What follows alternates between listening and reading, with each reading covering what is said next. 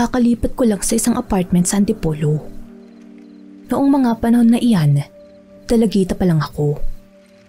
Nangungupahan ako dahil yung trabaho ko nasa parte lang din ng Antipolo. Christine, sasama ka ba mamaya? Tanong ng roommate ko na si Arlene. Naku, hindi ako makakasama sa gala nyo. Kailangan kong maglaba mamaya. Sagot ko na lang sa kanya habang nakahiga siya sa kama. Kaming dalawang magkasama sa isang kwarto. Okay naman si Arlene. Wala naman akong problema sa kanya. Madalas lang talaga siyang wala sa apartment. Bukod sa magkaiba kami ng schedule, lagi rin siyang gumikimik. Minsan lang naman Christine, sama ka na. Kaysa naman nandito ka palagi sa apartment. Hindi ka ba naiilang sa mga tao rito? Lalo na rin sa matanda. Sabi ni Harleen na medyo hinihinaan pa ang boses. Baliw ka talaga. Bakit tinadamay mo na naman si Aling Susan dito? Nananahimik yung tao eh.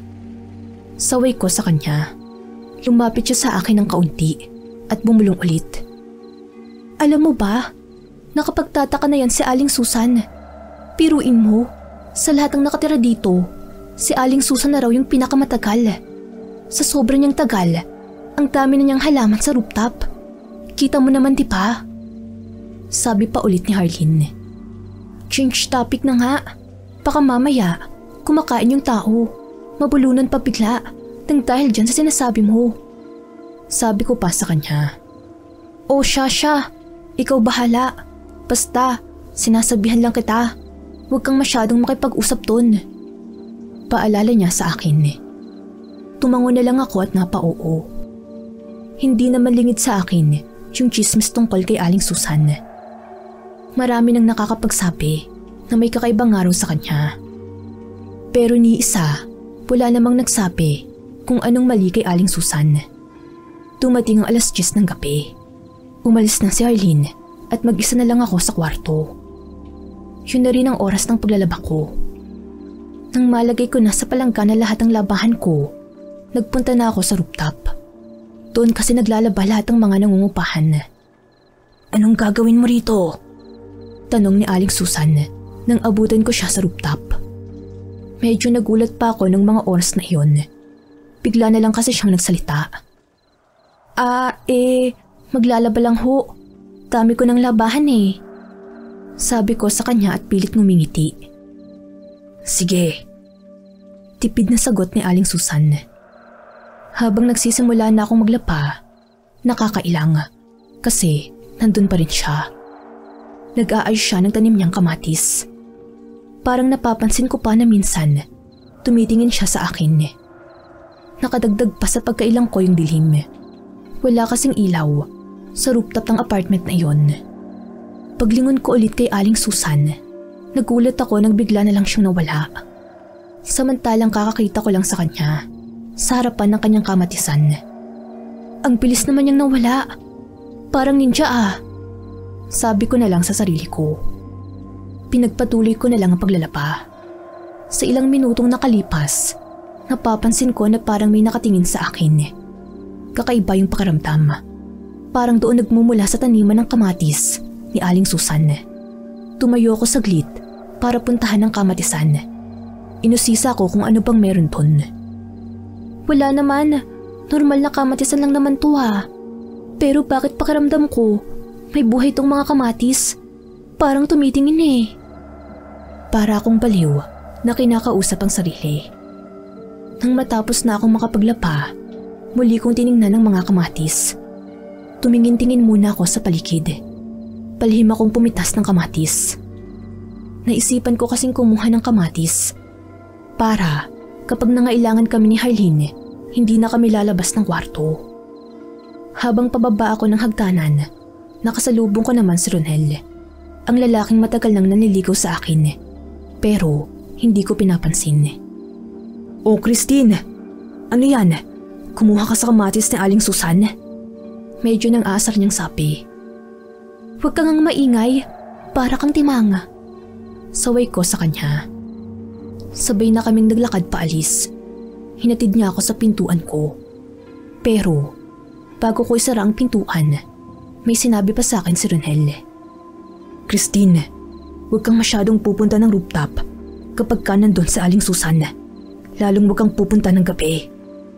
Sabi ni Ronel. Ano ba ang problema? Bakit pa ayaw niyo akong nalapit kay Aling Susan? Wala naman siyang ginagawa sa akin eh. Katwiran ko. Mas matagal na kaming narito kumpara sa'yo. Kung anong mga sinasabi namin, sundin mo na lang. Maniwala ka sa akin. May di tama kay Aling Susan. Sige nga, Aber. Anong mali kay Aling Susan? Tanong ko. Basta, bahala ka kung ayaw mong makinig. Sabi ni Ronel. Seryosong mukha niya nang maglakad na siya palayo. Napailing na lang ako sa mga sinabi niya. Isinara ko na agad ang pinto. Inilapag ko muna yung kamatis sa platuhan namin. Isinalampa ko muna ang sarili ko sa kama. Napagod kasi ako sa paglalaba ng mga oras na yun. Hay nako, kapagod naman. Mga ilang sandali lang, hindi ko alam kung bakit napalingon ako sa kamatis. Paranoid ako nun. Kasi akala ko biglang gumalaw yung kamatis. Lalapitan ko sana yung kamatis. Pero bigla ko namang naramdaman na parang may dumaan sa bintana. Dali-dali akong dumungaw ton. Wala naman akong nakita. Nang babalik na sana ako sa kama, nakakarinig naman ako ng malakas na pagaspas. Muli akong sumilip sa bintana. Pero malaking anino lang ang nakita ko sa itaas. Hindi ko sigurado kung anong klaseng anino iyon. Pero Noong mga sandaling iyon, bigla ko namang naisip na umakyat ang rooftop. Malakas kasing kutob ko na doon pumunta yung anino. Sakto naman na dumating si Harlene. Hindi natuloy ang lakad niya. Kaya, dali-dali ko siyang hinila. Saan ba tayo pupunta? Hindi ba ako nakakapagbihis? Iritadong tanong niya sa akin nang sapilitan ko siyang isama. May nakita kasi akong malaking anino sa itaas. Pakiramdam ko, nasa rooftop yun. Samahan mo naman ako. Pagkasabi kong iyon, biglang nabahala ang reaksyon ni Arlene. Wala nang salita ang narinig ko sa kanya. Pero nararamdaman ko na para bang di na siya komportable. Sigurado ka ba sis? Bakit pa kasi interesadong interesado ka? Nag-aalalang tanong ni Arlene. Hindi ko alam. Basta, Naku-curious ako kung ano yun. Sagot ko na lang. Nang nasagdan na kami ng rooftop, pareho naming naririnig na may tao sa itaas. May sandali kaming narinig na parang lumilipad. Pag akyat ko ng rooftop, wala na kaming nakita na kung ano. Pero naramdaman ko na parang may tao sa kamatisan noong wala pa kami. Para bang bigla na lamang ito umalis agad. Naramdaman mo pa? Tanong ko kay Harleen. Ang alin? Pagtataka niya. Yung kanina. Parang nandito siya nakaupo. Dito sa harapan ng kamatisan ni Aling Susan. Sabi ko at palingon-lingon pa sa paligid. Baba na kaya tayo? Para tayong tanga rito. Sabi ni Harleen na nababahala pa rin ang itsura. Bakit ba takot na takot ka? Tanong ko sa kanya. Hindi na naman siya nakasagot. Ramdam ko yung kaba niya dahil sigpit ang hawak niya sa akin.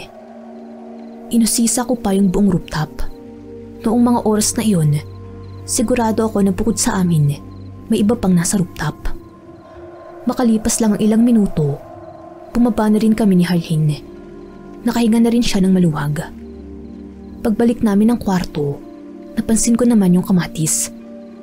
Direkto na siyang nakatapat sa kama namin. Kinalaw mo ba yung kamatis?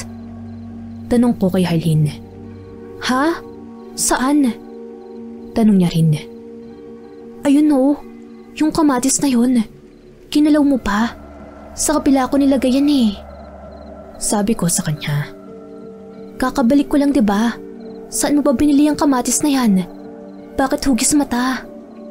Nagtatakang tanong ulit ni Arlene. Humiga muna ako sa kama bago nagsalita. Hindi ko yan binili. Sa rooftop ko lang yan kinuha. Kampante kong sabi. Napalingon siya agad sa akin. Para bang may nagawa akong kasalanan base sa kanyang reaksyon. Sa rooftop? Sa kamatisan ni Aling Susan? Tanong niya ulit sa akin. Oo. Bakit? Pwede naman yatang pumitas eh. Ang dami-dami naman nun. Nakangiti kong sagot. Nung mga oras na iyon, nagagawa ko pangitian si Arlene. Wala pa naman kasi akong kaalam-alam kung ano ba talaga ang meron sa rooftop. Baliw ka talaga. Ibalik mo yan doon. Utos niya sa akin. Eh bakit naman? Magagamit natin yan kapag nagsinigang tayo, di ba? Ano ka ba? Katwiran ko sa kanya. Ibalik mo nga yan doon. Ngayon din. Hindi ako matutulog dito kapag nandito yan. May halong inis na niyang sabi. Ang KG mo naman. Oo na. Ipabalik ko na. Para naman tong ano. Nagmamaktol ko na lang nasabi. Tinampot ko agad ang kamatis. Lumabas ako ng room namin para ibalik yon sa rooftop. Habang naglalakad ako, pinagmamasdan ko ang kamatis na iyon. Hugis mata nga siya ng tao. Sa lahat ng kamatis, iyon ang may pinakakakaibang hugis na nakita ko. Bilog na bilog kasi talaga. Nang makabalik na ako ng rooftop, kalmado ko lang na inilapag yung kamatis kung saan ko pinitas. Pagharap ko, napamura na lang ako nang biglang lumitaw na pala si Aling Susan sa aking harapan. Diyos ko po kabayo! Ay pasensya na ho! Sabi ko na lang sa kanya. Sa kanya, noong una, nakatingin lang siya sa akin. Sabay tingin niya sa taniman niya ng kamatis. Napapadalas ka yata rito. May sinasadya ka ba? Mahinang tanong ni Aling Susan. Ah, wala po. Chinecheck ko lang po yung mga sinampay ko. Baka kasi hanginin. Nakangiti ko pang sabi na kunwari, wala akong ginawang kasalanan sa kanya. Ganun pa? Sabi niya. Sige ho, papaba na ho ako. Inaantok na po ako eh. Pagpapaalam ko sa kanya. Bago ako bumaba ng hagdan, ay may iniwan pa siyang kataga sa akin. Iha, kung ano man ang napapansin mo, manahimik ka na lang ha. Para wala tayong problema. Sabi niya sa akin ng nakangiti. Pero, iba ang pakiramdam ko sa kanyang ngiti. Medyo creepy. Opo, tanging sabi ko na lang.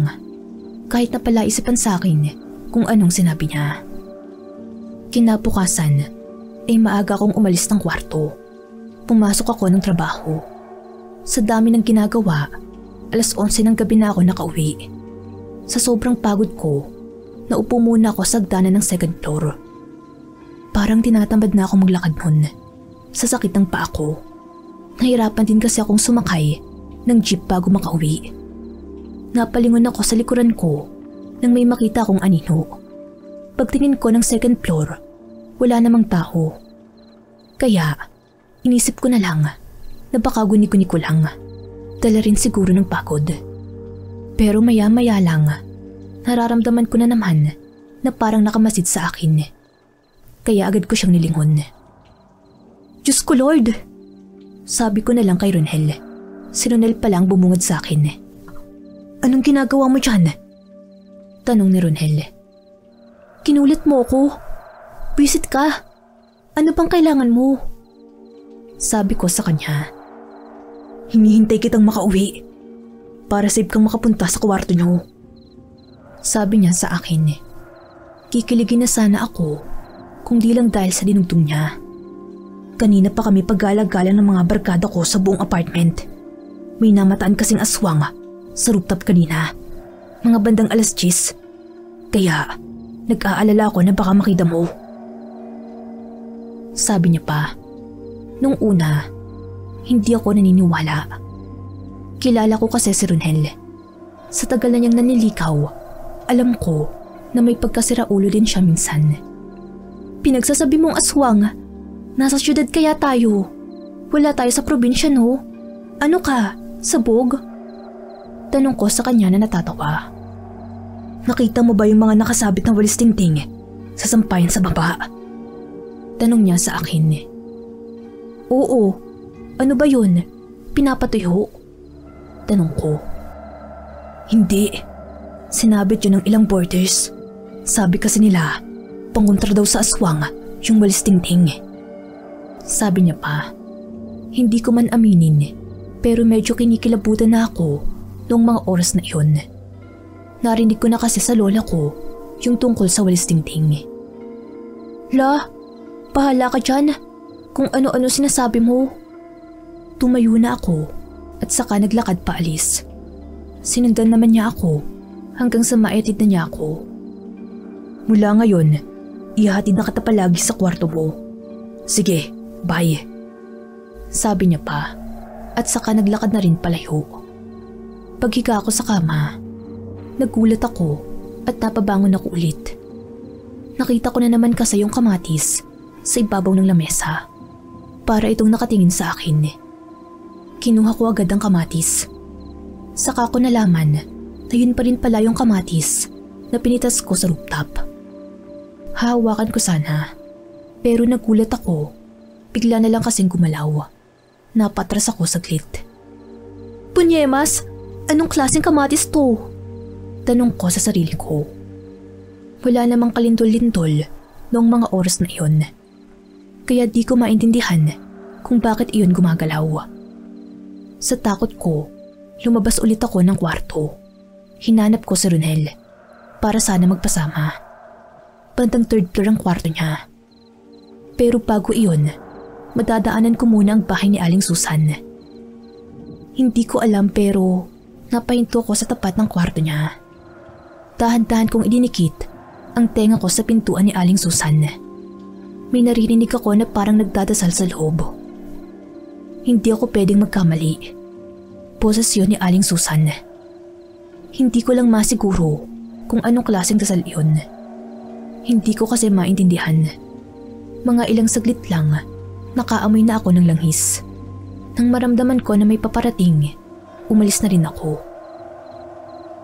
Oh, baka kasi mapagbintangan akong magnanakaw. Kakaunting lakad na lang ay malapit na ako sa room ni Ronel.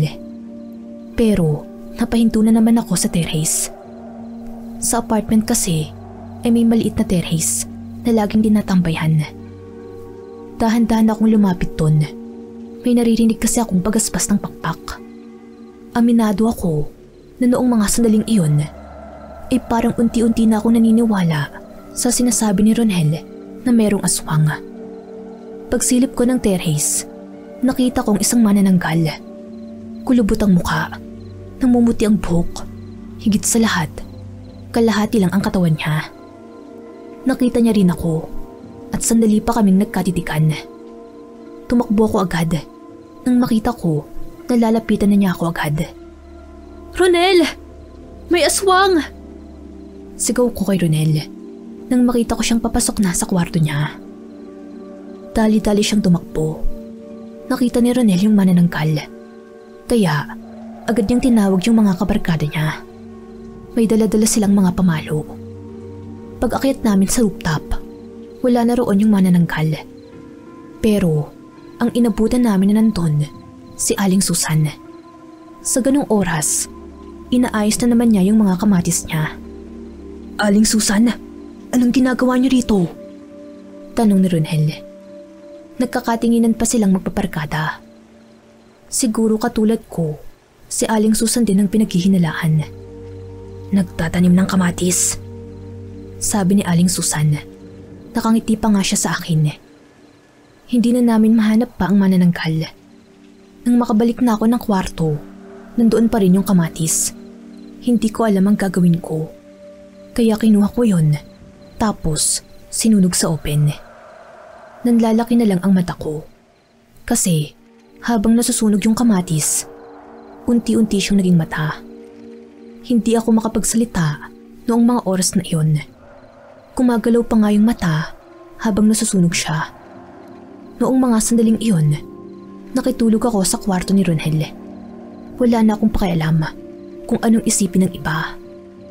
Kinapukasan, napagdesisyonan ko ng umalis ng boarding house. Nabahala kasi ako sa sinabi ni Aling Susan nang makasalubong ko siya. Magandang umaga, Iha. Alam ko na may alam ka. Pero sana, huwag ka nang magsalita. Sabi niya, dalawa lang kaming nasa hallway dahil maaga pa. Ah, ano pong ibig niyong sabihin? Maang-maangan kong tanong. Kahit na hinala ko na talaga na aswang siya. Bakit mo sinunog ang kamatis ko? Biglang tanong niya. Hindi ko na siya sinagot. Umalis na rin ako at nagpaalam kina Ronel.